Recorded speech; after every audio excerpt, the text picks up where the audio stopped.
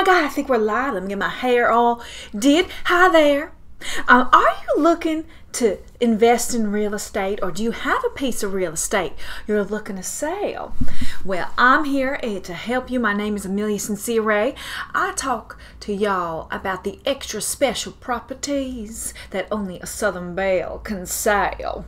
Well, I just want to say to y'all that there are so many real estate properties out there that just get overlooked. You know, maybe at one point you might have been able to classify them as a crack shack or an old meth lab. Or maybe someone, a house that some hoarders lived in. But let me tell y'all, First of all, you got to check to see because those houses can be worth more than you'd ever imagine. I mean, if you have an old meth lab, if you have a crack shack, you have no idea if those houses might have been on a television program. Now, the person selling them might not know that, but you, as an educated buyer, can do the research. And before you know it, you have a house that has had national exposure. Next thing, you know, a little bit of residue um, might not be such a big deal. First of all, it's organic. Second of all, it can be remedied. Not a problem. Everything is figure outable. And the next thing is that, you know, sometimes people are just scared of the of the word. It was a meth lab. They get so scared of those wall those words. But like my mama said, you better load your brain before you shut your mouth off.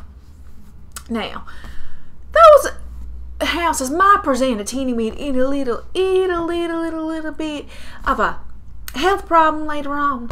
But main thing is when you buy that crack shack or old meth lab, you are then going to be able to say it was your house. You don't have to say it's a meth lab. Once you buy the house, then then when you're selling it, it's just all about how you did work on it.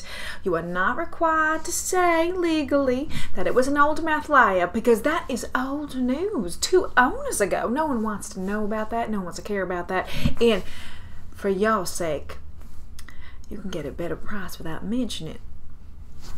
So, I would consider these these kinds of properties, um, and let me know if you have property you want me to look at. I can tell you all the wonderful things about it and how you can really market that property, no matter how much graffiti, no matter how many little baggies from the drug baggies, no matter how many cartels have trafficked people in and out of there. I can guarantee you, I can find a way to sell it and for a good price. So. This is Amelia Sincere here to say make sure you get a good price on your crack shacks, hoarder homes, and old meth labs. All right? So have a good day now. Bye.